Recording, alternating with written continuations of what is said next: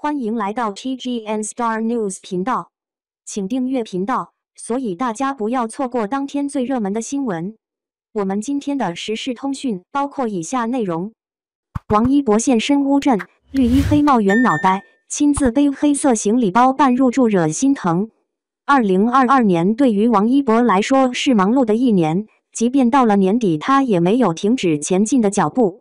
上半年还拍摄了两部影视剧作品，下半年就一直围绕着综艺作品《这就是街舞舞》打转。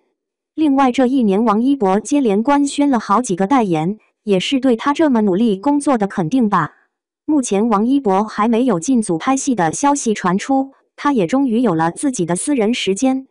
根据知情人透露，王一博利用这段空档安排了私人行程，前往乌镇戏剧节。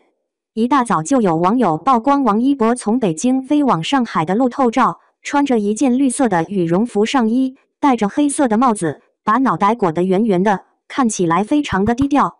到了目的地之后，他还刻意做了核酸，显得非常的严谨。在舞台上一直是酷帅形象的王一博，没有想到做核酸的时候超级可爱，看着工作人员，然后蹲下来拉下口罩，张嘴一气呵成。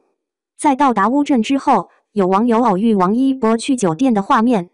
从背影来看，王一博这次是亲自背着重重的黑色行李背包进去酒店办理入住。还别说，看着他的背影，还略微有点心疼。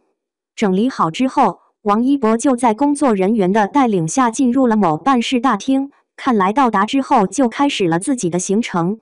有网友表示，虽然是私人行程。但是王一博此次到乌镇，应该也和工作有一定的关系。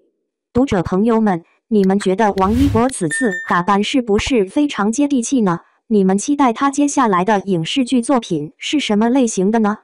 王一博现身乌镇戏剧节，绿衣黑帽圆脑袋，亲自背着重重的行李包办理入住，惹人心疼。感谢您观看视频，请订阅我们的频道以支持我们。